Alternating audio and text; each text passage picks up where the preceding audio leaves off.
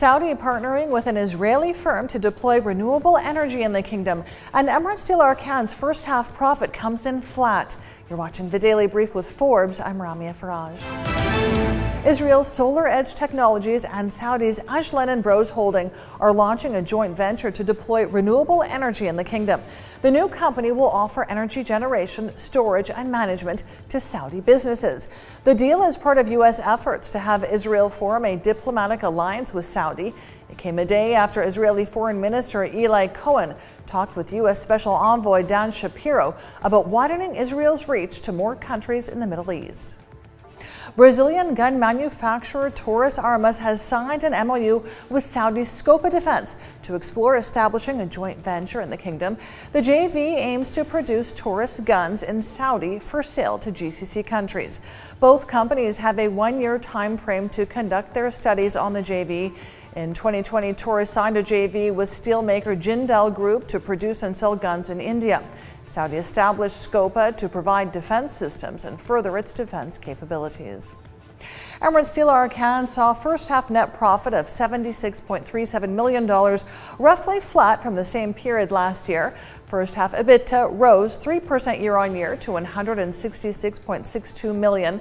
The EBITDA margin was 13.8% versus 12.9% in last year's first half. The largest listed steel and building materials company in the UAE's first half revenue dropped slightly to $1.21 billion compared to 1.26 billion during the same period of 2022.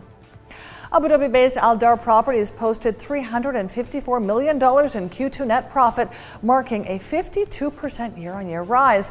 The results came from strong sales and increasing contributions from its recurring income portfolio.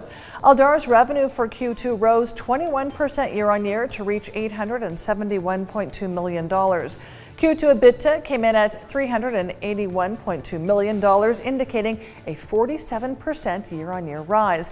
Aldar's net profit for the first half totaled $571.7 million, marking a 38% year-on-year rise.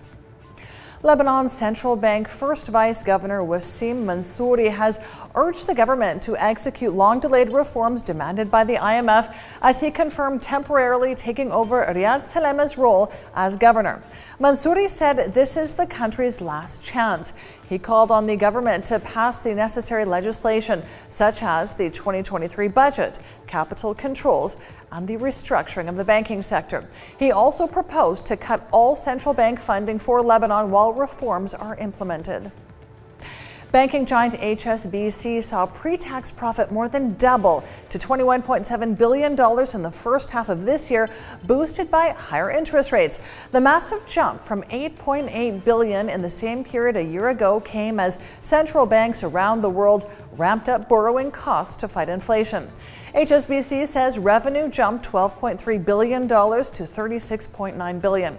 The bank will issue a dividend of 10 cents per share and it will launch a $2 billion share buyback. Toyota's Q1 net profit soared 24% year on year to $9.1 billion. The world's biggest automaker by sales sold 2.538 million vehicles worldwide, up 8.4% from a year ago. Toyota says the sales volume increased in all regions due to productivity improvement efforts promoted with suppliers, in addition to an improvement in the supply and demand situation for semiconductors. U.S. stocks ended a strong July on upbeat company earnings and hopes of a soft landing for a resilient U.S. economy. All three major stock indices ended with gains for the month ahead of a busy week of earnings reports from companies including Amazon and Apple, plus U.S. economic data, including the jobs report. The Nasdaq led Wall Street higher as mega cap growth companies like Alphabet and Meta, as well as chip makers Intel and Lam Research, posted strong quarterly earnings. Meta is reportedly preparing to launch a range of AI powered chatbots with different personalities in September. Meta has been designing prototypes for chatbots that can have human like discussions with its users as it works to boost its engagement with its social media platforms. One of the chatbots speaks like Abraham Lincoln, and another advises on travel options in the style of a surfer. The purpose of these chatbots will be to provide a new search function as well as offer recommendations. And the giant glowing X no longer marks the spot on the San Francisco headquarters of X, the company formerly known as Twitter. The city building department logged 24 complaints after a weekend of the Big X, which on Friday was erected on the roof of the company's downtown San Francisco headquarters on Market Street.